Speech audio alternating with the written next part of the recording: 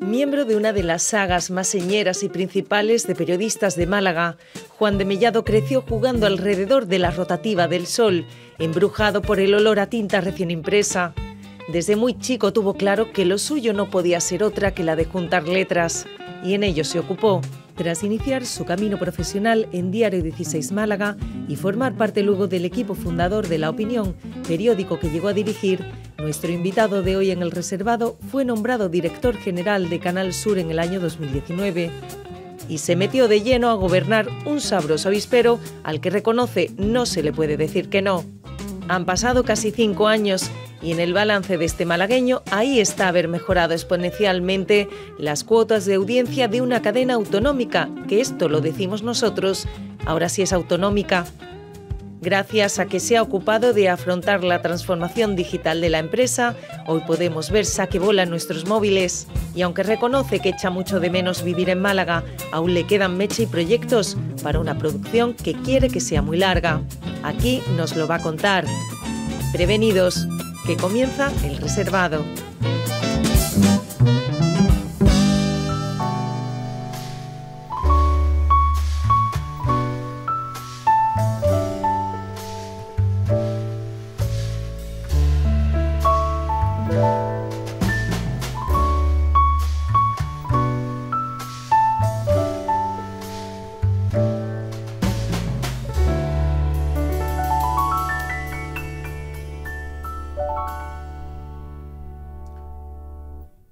Tal, Juan de?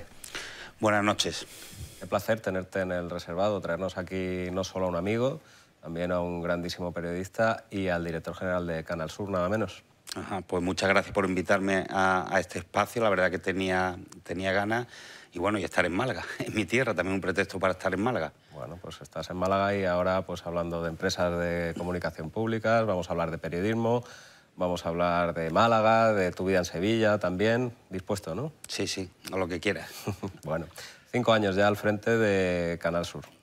Pues sí, llegamos el, en 2019, ¿no? Eh, julio de 2019, hacemos este, este verano cinco años y hemos, hemos tenido de todo, ¿no? Desde llegar el 19 al principal medio de comunicación audiovisual que hay en Andalucía, con unos retos eh, inmensos que, nos marcamos el equipo de potenciar el servicio público, a gestionar la pandemia nada más que llegar, eh, casi sin saber dónde está el interruptor de la luz en Canal Sur, eh, ponerte a gestionar todo eso para mantener el servicio público en activo y en directo en la pandemia. Y después, bueno, una vez que pasó la pandemia ya empezamos a desarrollar los proyectos que hoy, bueno, ya están en marcha. Dime la verdad, al frente de Canal Sur, como director de Canal Sur, ¿ese es el puesto en el que has perdido más pelo? Bueno, eh, la opinión también lo pasé mal. ¿eh? Trabajar en un periódico muy bueno, eh, la opinión de Málaga digo, eh, con unos grandes profesionales, pero tener que competir todos los días en el mercado con, un periódico como Sur, aquí en Vocentro, después salió el Málaga Hoy del grupo Yolí, ahí también el estrés también era, es que esta profesión tiene lo suyo. ¿eh? Sí, pero mm, hace cinco años que te vas a una casa enorme. Eh, tú acaba, habías sido director de La Opinión, eh, luego habías tenido tu cargo en Turismo Costa del Sol.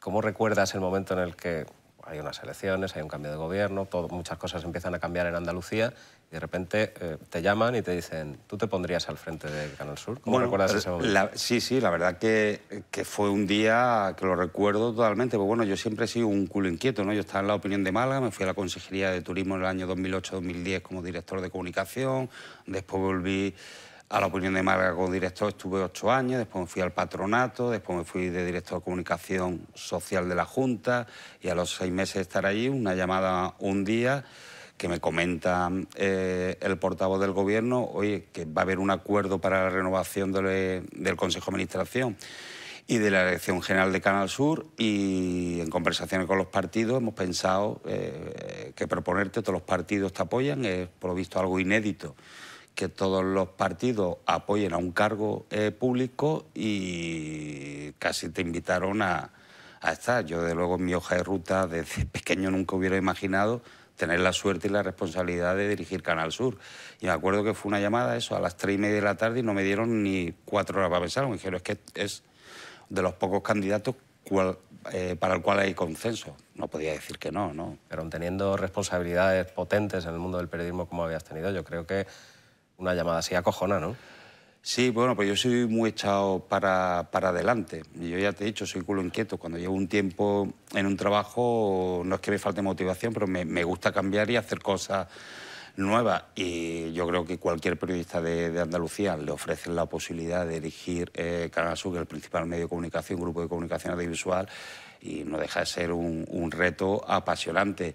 Eh, hombre, te da un poco a congojo, ¿no? porque dices, joder, Canal Sur no estoy preparado. Eh, claro, yo soy periodista, eh, he tenido que meterme a tope en gestión, en procedimientos, intentar asentar el futuro de la empresa pública de, la radio y de la tele de Andalucía. Y eso impone. A los que somos periodistas nos dedicamos al periodismo sobre todo Juan de porque era un, futuro bastante incierto, una casa muy deficitaria, lógicamente, como cualquier servicio público, pero con unas cifras muy ingentes cómo llegas allí, el día que tú llegas dices, ¿por dónde empiezo?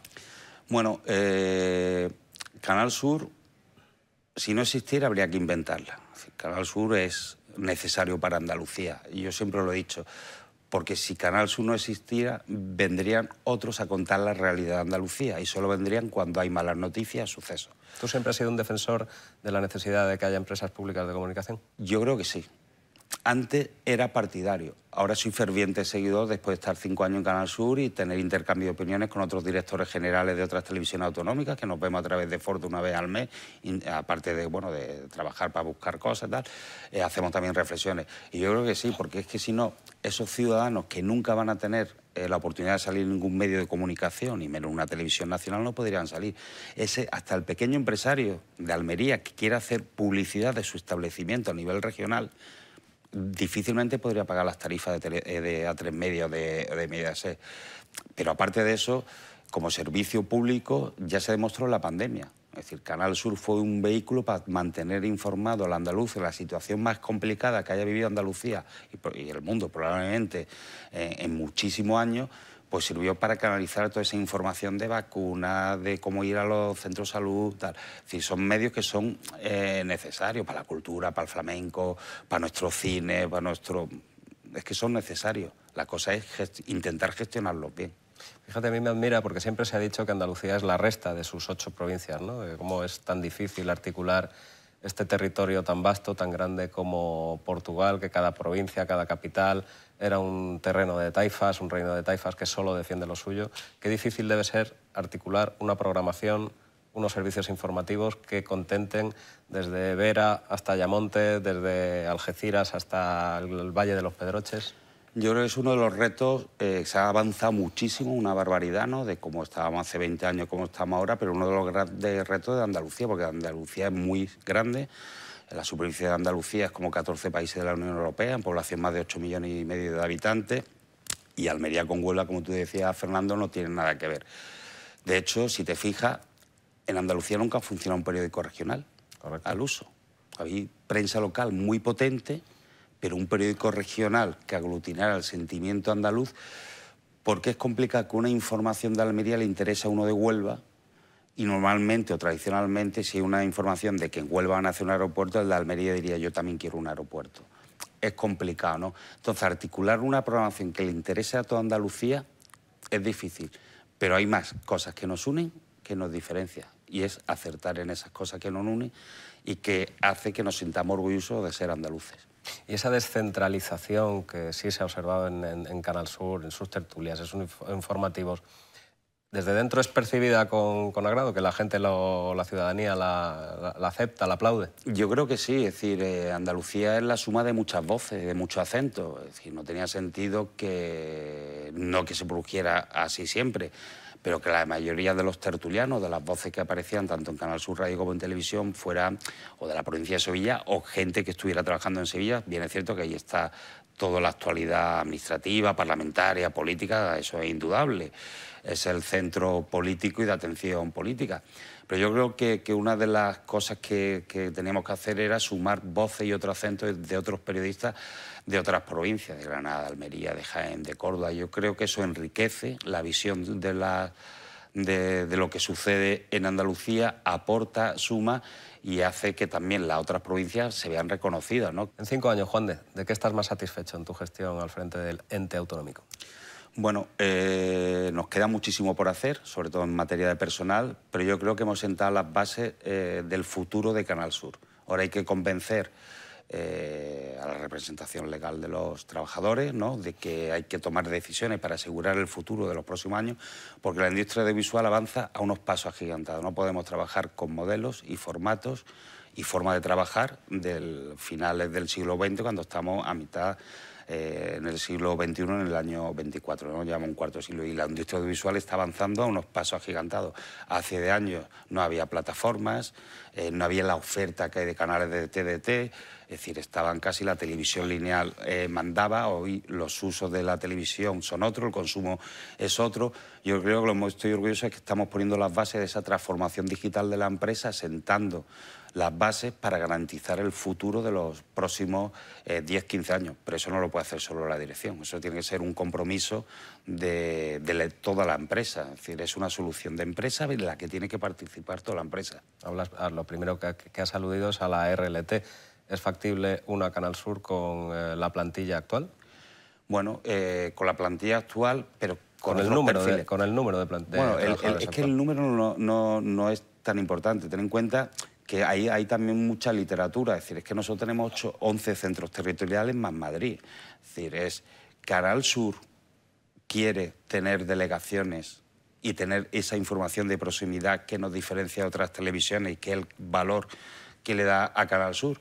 Pues tener 11 delegaciones una televisión una radio, eso cuesta dinero, en personal, en recursos y en medios. Yo creo que es necesario y fundamental tener los centros territoriales yo creo que es eh, fundamental, porque si no acabaríamos haciendo una información regional y perderíamos la perspectiva local.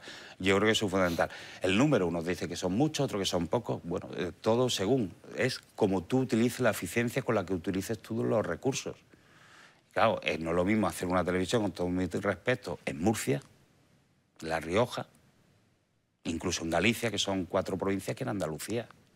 El coste de producción de nuestra televisión comparada con otras televisiones autonómicas es infinitamente eh, superior porque tenemos un territorio más diverso que cubrir.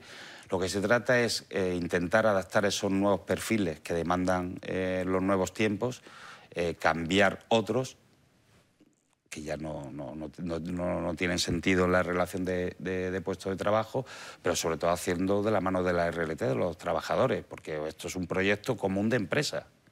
Siempre se habla de una plantilla muy envejecida, que en, breves años se va a jubilar un porcentaje muy importante de, toda la plantilla que tenéis. ¿Cómo afrontar eh, todo lo que se viene encima en ese sentido? Pues eso es, eh, es así, ¿no? El Canal Sur nació en el año 89, la plantilla, la mayoría de los trabajadores entraron aquellos años. Eh, ahora la edad media está aproximadamente en torno a los, eh, no sé si era 57, 58 años. Hay muchas personas que están próximas a jubilarse. Se nos va a ir mucho talento, mucho talento que tiene acumulado de trabajo en Canal Sur en todos los ámbitos, tanto en la televisión como, en la radio y también en la parte corporativa. Y bueno, hemos diseñado un plan que ahora mismo eh, se lo hemos presentado a los sindicatos, que lo queremos negociar que quiere asegurar el futuro de Canal Sur ¿no? y hacer una transición ordenada, ¿no? que haya un plan de sucesión, es decir, que el talento que se va, por lo menos que el que se incorpore esté en dos años y convivan para que haya ese traspaso de conocimiento, eh, incorporar nuevos perfiles, es decir, gente experta en Big Data, en plataformas, por ejemplo, abogados expertos en derechos digitales, bueno, que esto todo está cambiando. Bueno, es un plan que nos ha costado un año eh, elaborarlo, lo tenemos encima de la mesa, yo creo que es bueno, habrá que negociar, habrá cosas que tendremos que renunciar, yo estoy siempre abierto a negociar porque es más fácil llegar a acuerdos eh, y buscar una solución buscando un acuerdo negociado que imponiéndolo. Eh, porque luego ejecutarlo es mucho más difícil si tienes una posición interna dentro de, de tu empresa. Y yo creo que, bueno, por lo menos ya hay un plan. ¿No? para afrontar el futuro en cuanto a personal, que se ha compasado al plan de transformación digital, juntado los dos, yo creo que se sienta la base del futuro de Canal Sur. Que en ese plan de transformación habéis sido pioneros en tener una OTT, para que nos entienda la gente, el Netflix de la cadena autonómica, la primera cadena autonómica en tener esa plataforma, un Netflix. Sí, eso fue un proyecto que yo anuncié en mi primera comparecencia parlamentaria entre los objetivos que quería, que bueno, yo entendía que el mercado audiovisual estaba cambiando, la gente ya consume la televisión cuando quiere, donde quiere, el dispositivo que quiere, poca gente ya llega, hoy que voy a las 10 de la noche que empieza tal película o tal programa, pues eh, la gente ya lo consume de otra forma y lanzamos nuestra OTT, ¿no? que lleva cumplido dos años de vida con más de 20 millones de sesiones, más de 500 personas tienen ya descargada nuestra app en cualquier Smart TV, como la de Netflix, Amazon. Y yo creo que es bueno porque ha reforzado también el servicio público, nos permite hacer directos, que no podemos meter todos los directos en la televisión lineal, partido de fútbol, retransmisiones de galas de cine, eh, conciertos de música, bueno, cualquier tipo de acontecimiento. Y que a los nostálgicos nos permite revisitar cosas, hablábamos antes, como saque bola, que tan buenos recuerdos nos traen, ¿no? Todo el mundo pide saque bola. Decías que era de los contenidos más descargados.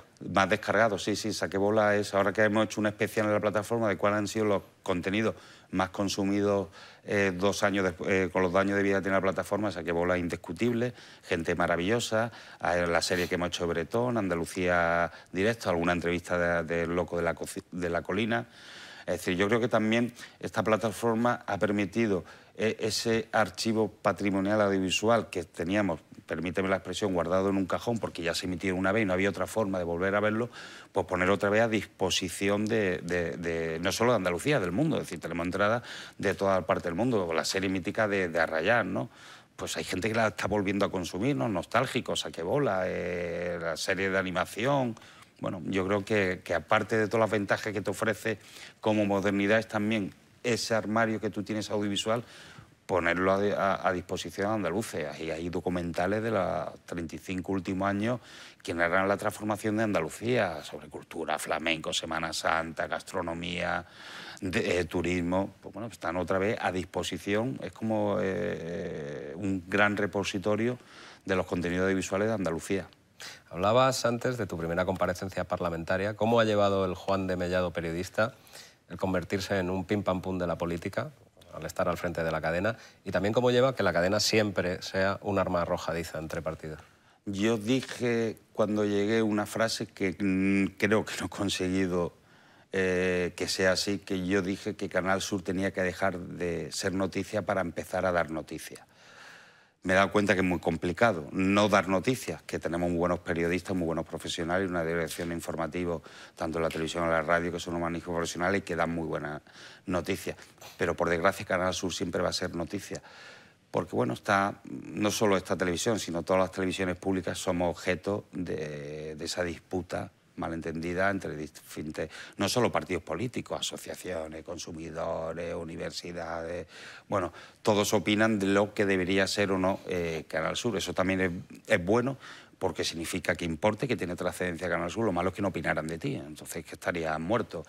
Pero yo siempre he pedido que se baje un poco la, un poco que se baje el, el, soufflé y que nos permitan a los profesionales trabajar libremente, tanto a los que son de la casa, a los como nos hemos incorporado fuera, porque somos profesionales y sabemos lo que hay que hacer y más en una televisión pública. ¿Y duelen más las críticas cuando son eh, aceradas desde fuera o las que se dan desde dentro? Bueno, eh, las de dentro es que depende. Si una crítica si es constructiva, eh, a mí me gusta porque hace que tú eh, digas, joder, ¿qué está pasando aquí? Me estoy equivocando. Es que el que toma decisiones se equivoca, ¿no? Y cuando tomas día al día, normalmente eh, tres o cuatro seguramente falle o medio acierte. A mí lo que me doy son las críticas que vienen manipuladas, malintencionadas o sesgadas, ¿no? De esas estoy acostumbrada, por eso ya me he puesto una vacuna y, yo sigo con mi plan para adelante, pues no estar, no estar pendiente de lo que dice uno en una red, lo que dice otra. Me preocupo cuando llega una crítica constructiva y la analizamos, porque nosotros las que son así sí no detenemos a verlas. Como, joder, es que tienen razón lo que están diciendo. Y a mí no, y lo he reconocido tanto en el Parlamento como en el Consejo de Administración. Eso es magnífico, no siempre se acierta y hay que aprender de los errores, ¿no? Ahora, cuando te vienen a buscarte sesgada, con... es que no hay cosa peor que la media verdad, ¿no? Es la que más duele, y porque el que la utiliza sabe que es falso, pero no le importa utilizarlo con tal de hacer daño, ¿no? Y bueno, pues esa duele, hay que convivir, es un cargo público, no me quejo, sabía lo que me, exponía y aprendes, aprendes de los, de los aciertos y de los errores. ¿Y cómo lleva el Juan de Mellado, periodista, a hacer menos periodismo que nunca en su vida, seguramente? Pues bueno, eh, yo creo que la taza de, mi dosis de periodismo, después del año 92 que empecé, ¿no? en Diario 16, después monté una consultora, después una empresa de comunicación, después tuve la suerte de entrar como fundador de, de La Opinión de Málaga, fue corresponsal de Cambio 16, es decir, que he dado de esto, es decir, además que tú también lo has ejercido, el periodismo diario, ¿no? de, local, de batalla, de, con recursos eh, algunas veces limitados, con jornadas de 12, 14 horas, yo creo que eso lo tengo más que cubierto. Hombre, lo echas en falta, muchas veces ve algo, yo lo haría así, así, pero también apasionante la otra etapa, ¿no? Eh, lo que es gestionar un, medio de, comunicación tan importante como Canal Sur y sobre todo intentar eh, con el equipo, tú solo no, vas a ningún lado, con un equipo montar un proyecto de futuro también es apasionante, porque es como también es a la vez que casi estás haciendo un máster en, gestión, que vas aprendiendo, aunque venías con conocimiento, eh, estuvimos y todo el equipo, uno solo no lo puede hacer, y es apasionante, es también un mundo muy diferente al otro, pero apasionante, apasionante. Porque para quien no lo sepa, Juan de Mellado ha mamado el periodismo desde pequeñito. Tu padre, uno de los eh, más egregios eh, periodistas de esta ciudad, reciente medalla de la Asociación de la, de la Prensa. Entiendo que en tu casa el periodismo corría por las venas y era lo que se desayunaba, ¿no? Sí, yo tengo la, la, suerte que de pequeño el periodismo, yo me iba al Sol de España con 8 o 9 años con José María de Loma, que su padre Rafael de Loma, uno de los mejores periodistas que ha habido en Andalucía, era director del Sol de España, mi padre era doctor jefe y los sábados domingos José María de Loma y yo eh, vivíamos enfrente y nos íbamos los fines de semana a jugar a la rotativa, en vez de quedarnos a jugar a la pelota nos íbamos a la rotativa. Con 12 años fabulábamos en hacer periódicos, hacíamos cosas con recortes nos lo pasamos bomba. Entonces lo hemos vivido siempre, los cuartos oscuros del revelado de fotos, nos metíamos allí con, con Rafaelito a ver cómo se revelaba, los teletipos de estos amarillos que llegaban, los llevábamos para un lado, con 12 años éramos chicos de los recados, nos manda, vea por qué, vea la rotativa. Y lo mamado. Después mi padre, que ha sido mi gran referente de periodismo, mi tío eh, Víctor, que falleció, que era eh, uno de los mejores periodistas de, turismo, vivía también enfrente. Eh, Rafael vivía enfrente, Manolo J vivía enfrente, ¿no? Porque ahí, es decir, las tertulias en mi casa, en casa de mis padres, echarle a todo el periodismo, mi tío Jesús María, eh, periodista, mi tía Monse, periodista, mi primo Pablo, periodista, mi hermano Sergio, periodista, es decir, que eh, somos una gran saga mm, yo no sé sin importancia, pero sí el número de, periodistas y el periodismo ha estado siempre muy, muy presente en mi casa. Entonces, de pequeño yo tenía claro que yo quería ser periodista. ¿Alguna vez pensaste que quería ser alguna otra cosa que no, fuera periodista? No, hombre, sí, futbolista, astronauta, lo que dicen todos los niños, ¿no? Pero periodista, yo me iba, me acuerdo, a la cama eh, cuando llegaba mi padre con el periódico. Yo me iba por la noche, bueno, me leía los deportes, pero yo me acostaba en vez de con el TVO, con Zipizape o Mortadelo o 13 Rubén Percebe, yo me subía al periódico. Y a mí me gustaba, mi padre cogía el periódico y decía, qué buen periódico hemos hecho hoy. Yo lo miraba y lo vi igual que el día anterior. Digo, como que hemos hecho buen... Claro, ya cuando vas aprendiendo dices, joder, ya entiendo cuando tú decías, joder, qué buen periódico hemos hecho, ¿no? Y esa tensión, sí, sí, desde pequeño. ¿Se siguen haciendo buenos periódicos, Juan?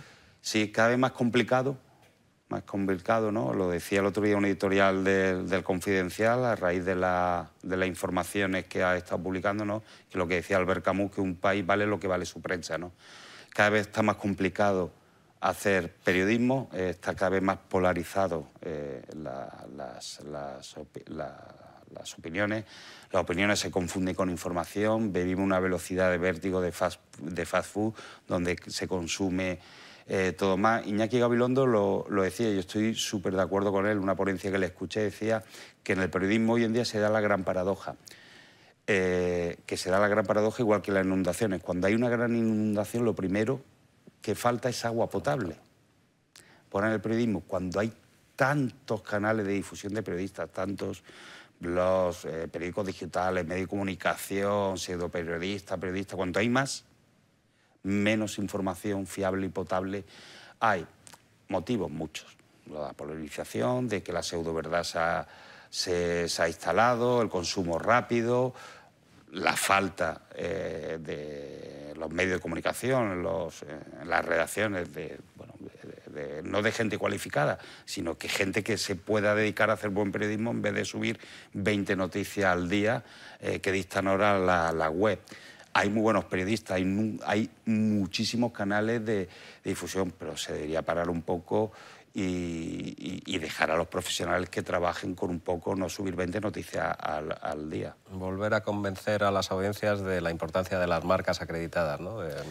marcas como Canal Sur, como muchos periódicos, La Opinión en tu caso, em, quienes llevan años currándose la información. A mí me da mucha rabia eso, ¿no? Yo cuando un amigo me dice, he leído, digo, ¿pero dónde lo has leído?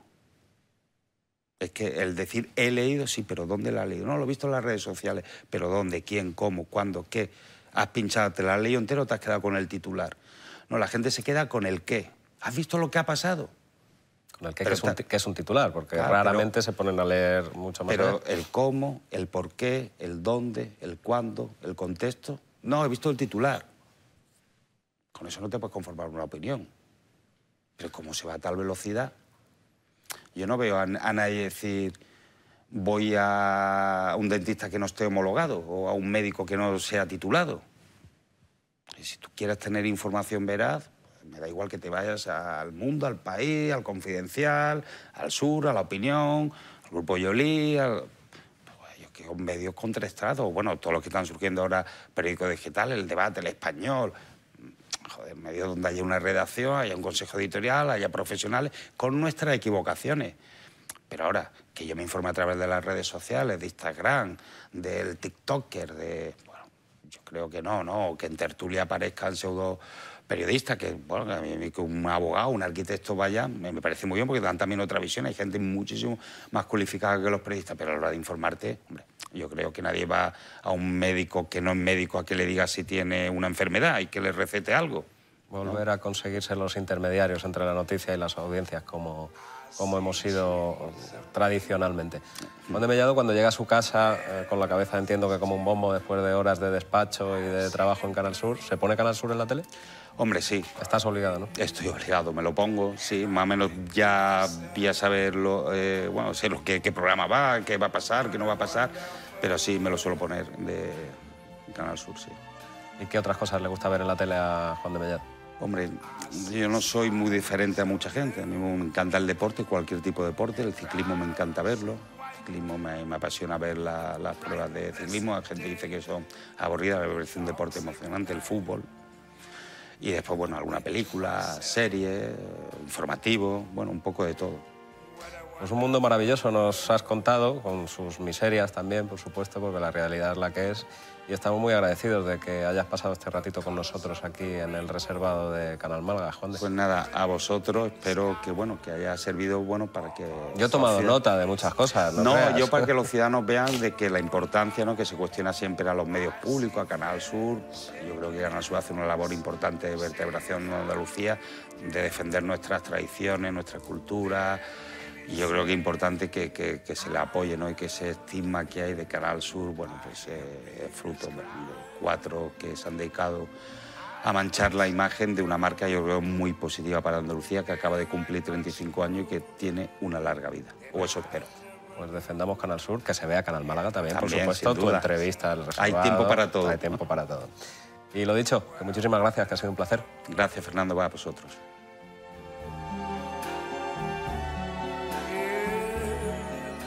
I think to myself,